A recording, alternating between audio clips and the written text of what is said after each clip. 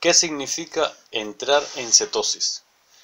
Para alcanzar un estado de cetosis o para formar cuerpos cetónicos es requisito la restricción de hidratos de carbono, es decir, debemos limitar considerablemente la principal fuente de energía de nuestro cuerpo, eliminando tanto azúcares simples como hidratos complejos. Así, en una dieta normal, los hidratos ofrecen entre el 40 y el 60% de las calorías que consumimos en un día, mientras que en una dieta cetogénica o dieta keto, dicho porcentaje se reduce a menos de 10 cada día. La cetosis es la formación de cuerpos cetónicos.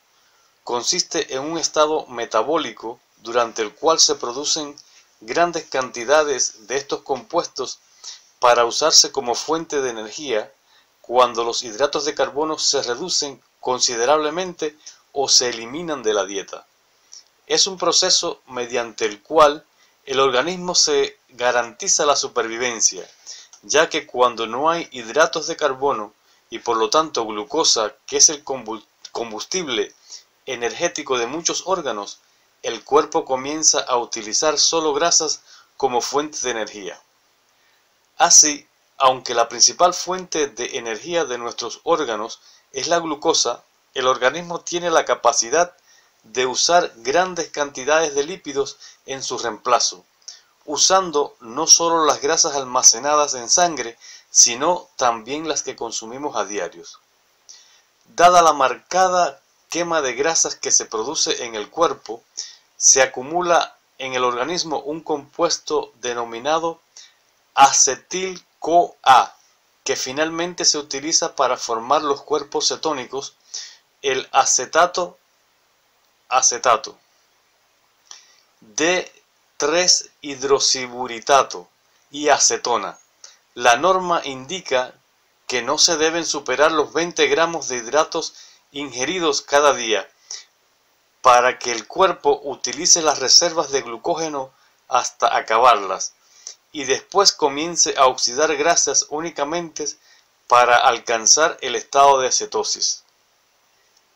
Así, en una dieta que induce la cetosis, la mayor parte de las calorías derivan de las grasas, entre el 60 y el 75%, mientras que las proteínas cubren entre 25 y 30% de la energía que se consume en el día. Por ello, los hidratos apenas se hacen presente, pudiendo incluso ofrecer menos del 5% de las calorías que se consumen al día. Para lograrlo, se erradican de la dieta todo tipo de cereal o legumbre y derivados, así como se restringe al máximo la ingesta de frutas y verdura. La alimentación entonces se basa solamente en el consumo de alimentos ricos en grasas, y proteínas tales como carnes, huevos, lácteos, pescado, mariscos, frutos secos, semillas, mantequilla y aceites vegetales. Pero por lo antes dichos, la dieta cetogénica o necesariamente para entrar en cetosis es una dieta limitada que requiere mucho control y la eliminación de grupos enteros de alimentos para así lograr reducir considerablemente los hidratos en la mesa diaria. Y aunque puede ofrecer muchas ventajas, no está libre de efectos secundarios para el organismo y la salud. Si esta información le ha parecido útil, tenga la amabilidad de compartirla en sus redes sociales.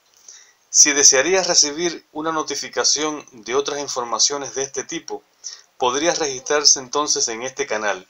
Gracias y que tenga un buen día.